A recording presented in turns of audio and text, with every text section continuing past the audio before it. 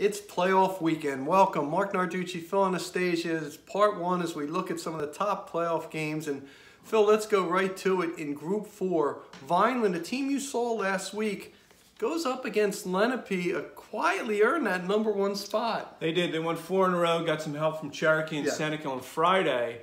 Uh, and the reward is playing, you know, one of the more formidable number eight seeds I ever Yeah. remember seeing. I know Yep. Vineland was was outplayed by the Prep on Friday, and the Prep deserved to win it. But this Vineland team is physically imposing. Um, they got two Big Ten recruits, uh, another kid uh, going to uh, Bucknell. So this is a uh, this is a tough one eight matchup for Lenape. Lenape's played very well. JoJo Kellum, their senior running back, uh, has been on a real big time roll recently.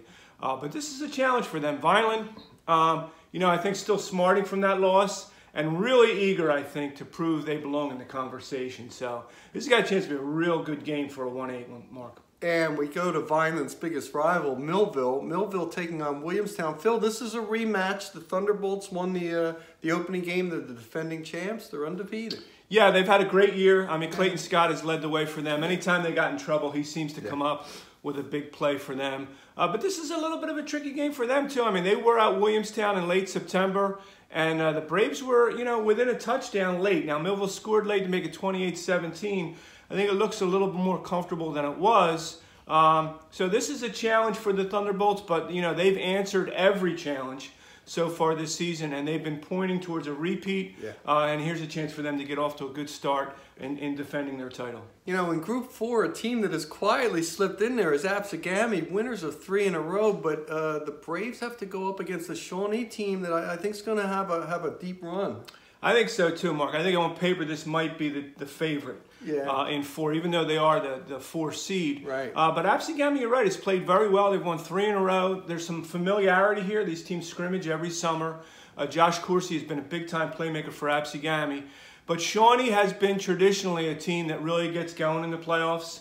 Um, and as the four seed, I think they're set up maybe to make a run here. But they got to get off to a good start on Friday night, and that means taking care of business against Absegami.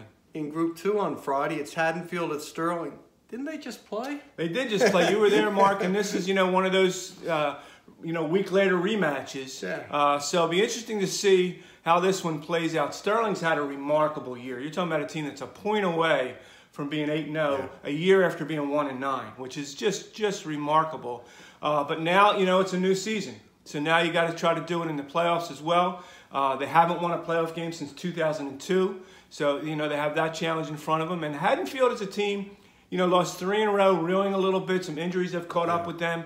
But this, the postseason is a, is a new start, chance to kind of maybe recapture some of that early season magic. So this has got a chance, I think, to be a good game, especially with the familiarity from last week. Phil, I think a really interesting game in Group Two is Cinnaminson at Camden. Cinnaminson's the only team that has beaten West Deptford, is on a roll, and so is Camden with a big win over RV. Absolutely. You know, number two seed's going to be home Yeah. at Farnham Park for two weeks in a row if they're able to win this week. But this is going to be a challenge for them. Cinnaminson won five in a row. They've allowed 14 points, Marc, in all five of those Wow. games. Uh, Kai Light, Lightford, their uh, senior middle linebacker, has really done a great job for them.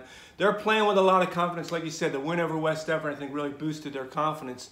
So this has got a chance to be a real interesting game. But Camden, I think, is really the team to watch in South Jersey, too. They've won six in a row, beaten RV, beaten Winslow, some big-time schools, Yeah. uh, and they're home.